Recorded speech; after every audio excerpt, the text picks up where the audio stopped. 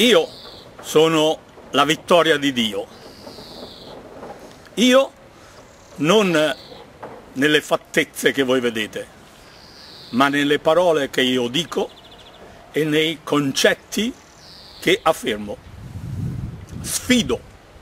tutta l'intelligenza del mondo a trovare un solo errore in quello che io dico e che porta all'assoluta vittoria di Dio. Voi sapete che c'è stato un filosofo che ha detto Dio è morto. Ebbene, io vi invito tutti a considerare le leggi che regolano la nostra esistenza elettromagnetica. La più importante legge è il terzo principio fondamentale, chiamato di azione e reazione. Noi vediamo ogni cosa in azione solo sulla base dell'azione esattamente uguale e contraria. Pertanto, se noi vediamo un mondo in cui apparentemente Dio non opera, perché permette la morte degli innocenti, la vittoria apparente di ogni forma demoniaca dell'esistenza, voi state assistendo all'azione reale, che è questa, che appare, come diceva il filosofo del nullismo uguale alla morte di Dio, che invece è proprio il segno dell'onnipotente vittoria di Dio che sta annullando proprio tutto questo che voi vedete nella forma opposta corrispondente al suo apparente farsi. La verità è che Dio ente che attira ogni cosa, centro magnetico che attira la gravitazione universale al suo punto centrale, in cui riconfluendo tutto l'universo si annichilisce e rientra nella sua pura esistenza in potenza, mentre questo è veramente in atto, noi lo stiamo vedendo nelle forme uguali e contrarie, non attraverso la forma del magnetismo, ma dalla elettricità che è l'entità opposta al magnetismo, non nelle forme dell'antimateria, ma in quelle della materia che dinamicamente è in contrapposizione all'antimateria. Di conseguenza, vedendo una verità attraverso le forme opposte, noi stiamo assistendo esattamente all'opposto del vero. Tutto sta rientrando nell'unicità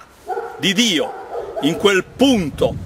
geometrico, senza spazio, senza tempo, in cui ogni cosa esiste in potenza, ma la stiamo vedendo nel verso opposto, come se noi in ogni attimo della nostra vita da un punto potessimo scegliere liberamente quale punto della circonferenza poter raggiungere. Ma non essendo questa la vera azione, perché è solo la reazione, essendo la vera azione solo il moto centripeto del magnetismo,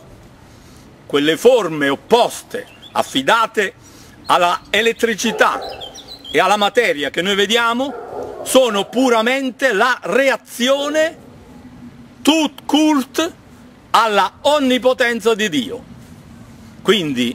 io,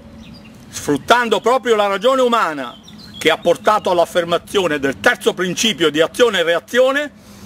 ho sconfitto in assoluto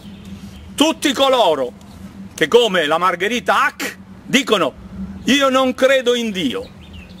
sfido qualunque genio di questo tipo a confutare le verità che io dico. Avete udito delle verità che non sono mai state dette dopo che le disse per primo Gesù Cristo, quando a Nicodemo spiegò che la nostra esistenza ha due linee d'azione, quelle dell'acqua e quelle dello Spirito Santo. Da allora ad oggi questa è la prima volta che la stessa verità trascendente di Dio arriva su questa terra e usando proprio la ragione umana che ha portato alla conoscenza scientifica abbatte in assoluto la ragione umana quando, espressa da una falsa filosofia, porta a credere che questo mondo non ha la presenza di Dio, mentre invece la verità è esattamente quella opposta. Già ora Dio sta svestendo ogni essenza reale del suo contenuto di essenza reale e la sta riportando alla sua pura esistenza in potenza che è quella di Dio. Dio ha vinto il mondo e oggi lo ha vinto qui al Parco Lura con la verità uscita da me. Se non siete capaci, uomini intelligenti, di capire quanto sia vero tutto quello che ho detto, allora, cari uomini intelligenti, nascondetevi